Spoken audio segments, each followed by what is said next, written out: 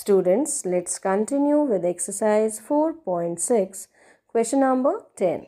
Find the greatest number of 5 digits which on dividing by 3, 12, 18, 24, 30 and 36 leaves remainders 2, 11, 17, 23, 29 and 35 respectively.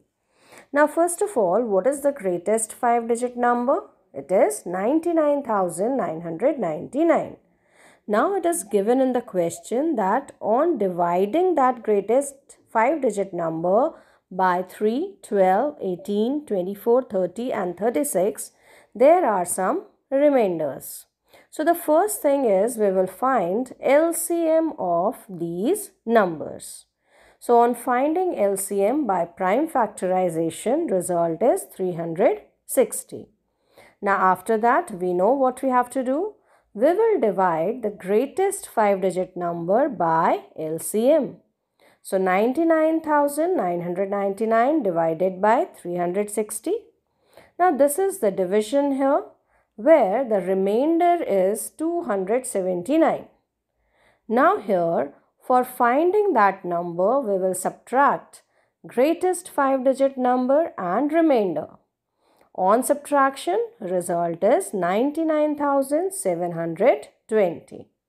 But one more thing is given in the question that the greatest 5 digit number on dividing by 3, 12, 18, 24, 30 and 36 leaves remainders 2, 11, 17, 23, 29 and 35. So here we have to find out their difference.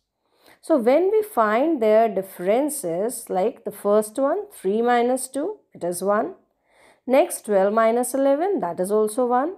18 minus 17 is also 1. Remaining ones also when we find the difference result is 1. So everywhere result is 1 only. So that greatest 5 digit number will be 99,720 minus 1 which is 99,719.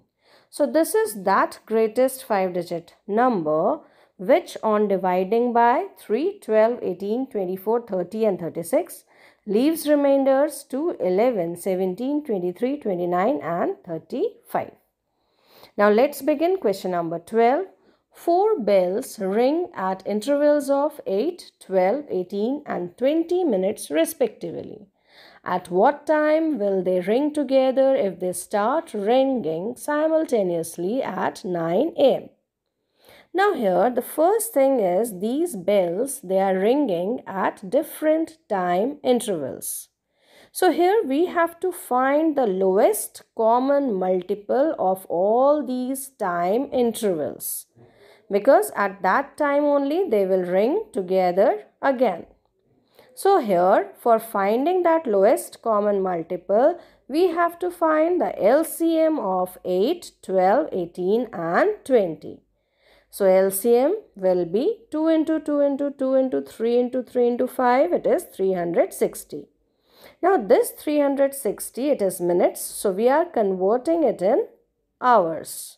So 360 divided by 60 it will be 6 hours. Now here these bells they rang together at 9 am. Now we have to find that at what time they will ring together again. So after 6 hours, these bells will ring together again. So time will be 3 p.m. So after 9 a.m., the time is 3 p.m. when these bells will ring together again. Coming to 14th question, a person wants to buy equal number of mangoes and apples. Mangoes are packed in packets of 10 and apples are packed in packets of 6. So what is the least number of apples he can buy? How many packets of each fruit should he buy? First thing, the mangoes are packed in packets of 10 and apples they are packed in packets of 6. First thing is we have to find the least number of apples that person can buy. So for that least number of apples we have to calculate LCM of 10 and 6. So LCM of 10 and 6 will be 30. So these are the least number of apples or we can say mangoes which a person can buy. Now we have to find the packets of mangoes that how many packets of mangoes he can purchase.